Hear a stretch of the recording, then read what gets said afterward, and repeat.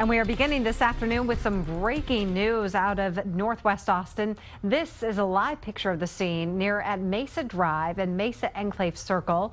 What we know right now is that the Austin Fire Department is investigating a home they say had large amounts of hazardous chemicals inside.